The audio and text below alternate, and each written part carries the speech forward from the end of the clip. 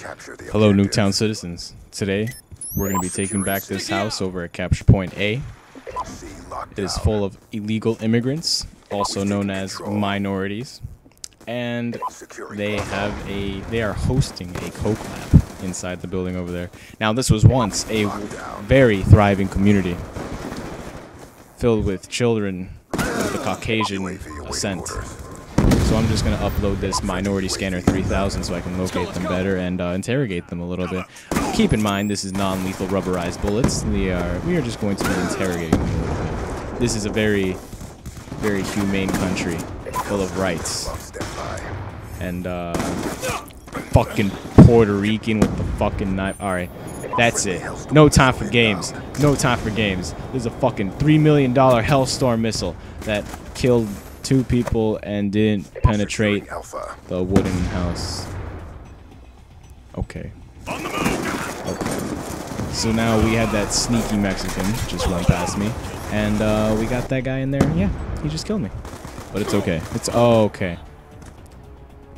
Due, due to due to his marksmanship, that was probably an Asian. These minorities, they're very crafty, and you got to work around it sometimes. Sometimes you got to think outside the box, or on the other side of the border, if you know what I mean. Can't confirm. We just interrogated that Asian. Didn't have anything on him. And I was way too aggressive there. I, you, you can't go into the ghetto thinking that you're going to get what you want. Are you ready, Officer Johnson? About to shoot up some coke addict. Nuketown's Police Department, get the fuck down. We know you have the coke. We can smell it in the air. You fucking minorities thinking you can come in here and take our jobs? Let's go. Let's go, Officer Johnson. You're not shooting shit. You're not shooting shit. Who programmed you? Huh? Who programmed you? Fucking Clement. Officer Johnson ass. Alright, these fucking Puerto Ricans think they can knife me. Give me the fucking coke. Give me the coke. Coke feels great. Officer Johnson's in that corner over there with an assault shield, like you should be. Obviously, you need to be in the corner, staying there, because you know that's what that's what Nuketown's finest does best. That's what we had to do. Let's go. Let's So. I come up behind this guy. He's a crafty little Mexican. He just dodged my bullets a little bit, but you know, he grew up on the streets. That's what happens. So